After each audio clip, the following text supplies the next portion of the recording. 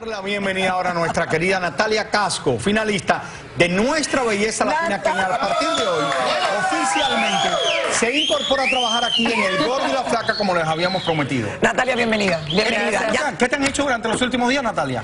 Bueno, la verdad que he estado preparándome para estar en el Gordo y la Flaca, ya que esta es mi corona, estar en el Gordo y la Ay, Flaca. qué linda, gracias, este, este es mi premio más grande, de verdad. No sé si vas a decir lo mismo después que esté aquí tres meses, pero bueno, ahí Yo tratamos. estoy, yo estoy ahí segura tratamos. que sí, yo estoy segura que sí, porque esta va a ser mi escuela, aquí es donde yo me voy a preparar y, y- y espero hacerlo bien. Oye, pero te, 100. te anunciamos y no te aparecías y la gente ya dijo, ay, esta gente, este Lili y Raúl siempre la inventan y la riegan y al final no pasa nada. Eh, ¿Qué estabas haciendo? ¿Te estaban preparando? Lo que pasa es de ¿Te que... dieron algunas clases? ¿Es verdad que te estaban dando Estoy recibiendo ya las clases, estoy preparándome y bueno, como pudieron saber, darse cuenta, en estos últimos días tuve un pequeño problema. La casa que se quemó, La tu casa casa, de la mi casa mamá. de tu familia De allá en Honduras. Cuéntanos. Bueno, donde vivía mi mamá, porque realmente es- Exactamente. es, alquilado. cuéntame, cuéntame, por favor. Yo sé que tú estás aquí en Estados Unidos. Pues fíjate de que, de que mi mamá se vino para Estados Unidos para la final de Nuestra Belleza Latina para poder verme. Entonces mis hermanos quedaron en Honduras y quedaron solos con mi hermana de 21 años.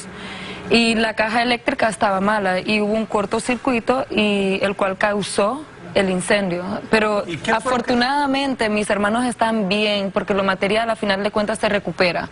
Lo que no se recupera es una vida y eso es lo que, lo que me está Lo que haciendo- duele, lo Ajá. que ¿Y duele, perdieron Natalia. todo en la casa? ¿Se, Se perdió todo. Mi mamá estaba trabajando muy duro, que ella estaba haciendo, construyendo un saloncito.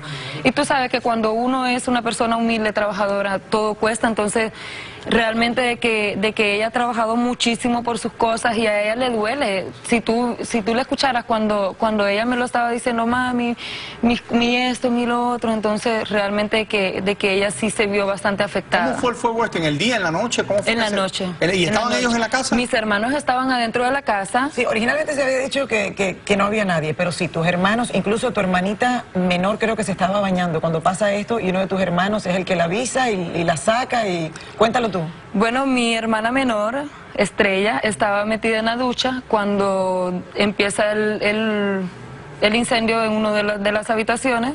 Y entonces en ese momento es cuando mis hermanas, mis otras hermanas se dan cuenta y la sacan del baño y se van. ¿Cuál se dio cuenta? Se ¿Cuál de tus fueron. hermanas? ¿La mayor? La mayor se dio cuenta de que, de que se estaba empezando a incendiar y la fue y la sacó y se fueron. ¿Cómo se enteró? Ellos los llamaron, llamaron a tu casa, a tu mamá aquí en Estados Unidos, que estaba al lado tuyo, ¿no? Pues fíjate de que yo me di cuenta por medio de esta, de unas fotos en las redes sociales y yo estaba preocupada porque obviamente yo sé que mis hermanas están solas y, y estaba pero desesperada y yo, yo puse un mensaje en mi Facebook, lo hice público y dije a alguien que me pudiera comunicar, Confirmar. confirmar, que sí era verdad y bueno, desafortunadamente pasó esto, pero, pero no pasó a más. Lo bueno es que, que los niños están bien y están con vida y eso es lo más importante. Natalia, cuéntame, ¿cuánto tiempo ya tú estás aquí en Estados Unidos? Yo llevo cinco años ya. Cinco años, con tu hija, ¿no? Co- sola con mi hija. Que tiene siete años ahora. Siete años, se llama Danielita, es un amor. Es traviesa, pero increíble. Ahora, está en ¿qui- escuela. ¿quién, quién cuida a Danielita? Eh, porque tengo entendido que tu mamá se fue justo hoy en la mañana, Hoy en la- ya, se regresó, que había Hoy pasado la- todo este tiempo contigo acá.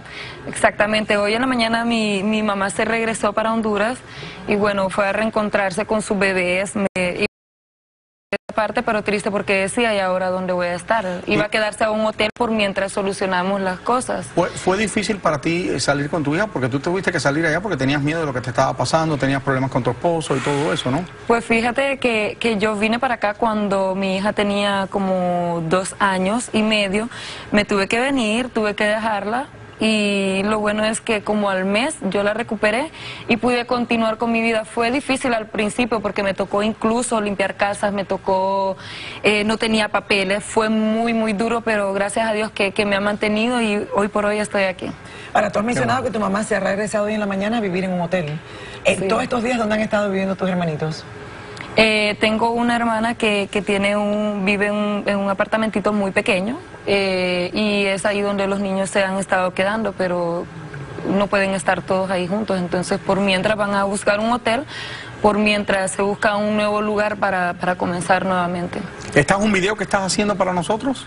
¿Perdón? Estaba preparando una, un video, creo que no, que nos estás preparando. No hiciste un par de entrevistas, no las tienes hoy, pero tienes un par de entrevistas que ya estás, has Sí, hay, estado un vi- haciendo. hay un video que es el primero que hice eh, la semana pasada y bueno, me gustaría que lo vieran. Lo, lo vamos a ver, ¿lo tenemos ahora o lo vamos a ver más adelante? Más adelante lo vamos a ver, más más adelante. adelante. Este, este De es mi primer trabajo en Gordo y la Flaca. Natalia, de verdad que estamos muy felices de tenerte aquí. Obviamente Francisca ganó nuestra belleza latina, que la queremos muchísimo, pero aquí en Univisión decidieron ponerle en Despierta América. Nos hubiera gustado que estuviera también en El Gordo y la Flaca, pero aquí eh, los jefes decidieron llevarla a Despierta América y nosotros decidimos, El yo decidí el traer a Natalia para acá. Así que Mira, me parece, me parece fenomenal. Además, eh, eh, para nosotros es lindo, para nosotros es lindo hacerle sueños realidades a todas. Qu- Quisiéramos tenerlas a todas, pero bueno, sabemos que, que tú fuiste de las favoritas del público, has tenido una historia increíble. Y cuando te estaba preguntando por qué no habías empezado antes con nosotros, porque te pedimos y todos los días que si no puede, que se la estamos preparando, que yo creo que tú tienes que ser tú.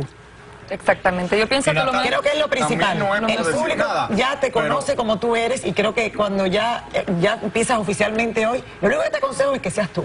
si fueras a escoger un programa para Si me- trabajar... si me ponen como soy yo.